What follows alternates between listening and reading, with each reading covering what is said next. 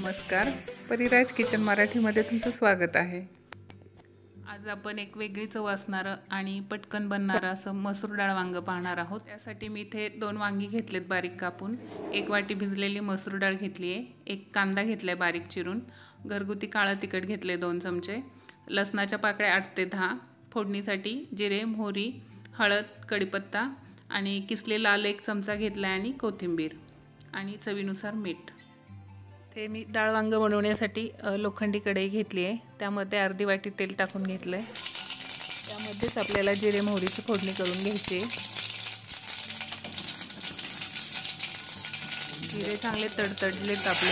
आता आपण त्याच्यामध्ये कांदा भाजून घेऊया आणि त्याच्यामध्येच कढीपत्ताही भाजून घेऊया. याच्यातच आपल्याला लसूण टेचून भाजून घ्यायचं आहे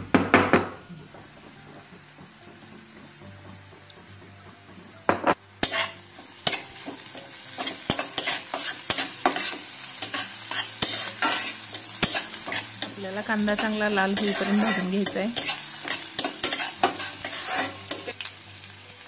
घालूया अर्धा चमचा.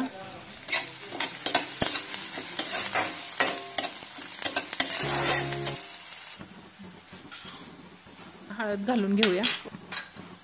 थोडं वरून घ्यायला घालूया थोडी. आणि याच्यामध्येच आपल्याला वांगी छान तेलावर परतून घ्यायचे पाच मिनिट आपल्याला वांगी परतून घ्यायचेत. मसूर डाळ आपण भिजवून घेतली आहे. त्यामुळं ती लगेच शिजते. पण वांगी शिजायला जरा वेळ लागतो. त्यामुळे वांग आपण तेलावर एक पाच मिनिट झाकण ठेवून वाफून घेऊयात. वाफेवर आपलं वांग थोडंसं शिजून जाईल. पाच मिनिटे झाली आहेत. आपलं वांगं पण छान वाफललं गेलं आहे आता आपण याच्यामध्ये डाळ घालून परतून घेऊया. आणि मीठही आत्ताच घालायचं आहे आपल्याला याच्यात. डाळीचं पाणी निथळून आपण डाळ्याच्या छान परतून घेऊया वांग्याबरोबर.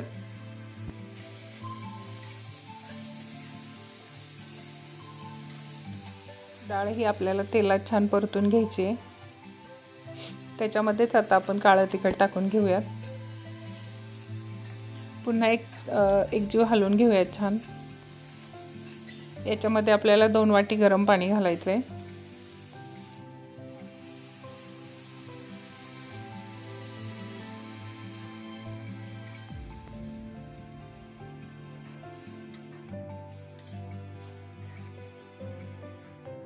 भाजीला आपल्याला चांगली एक उकळी येऊ द्यायची. आहे आणि नंतर एक पाच ते सात मिनिटांसाठी आपण ही भाजी झाकून ठेवूयात. एक सात ते आठ मिनिटात आपली भाजी छान शिजून तयार झाली आहे. आपलं झटपट बनणारं आणि एक वेगळी चव असणारं असं डाळवांग तयार आहे.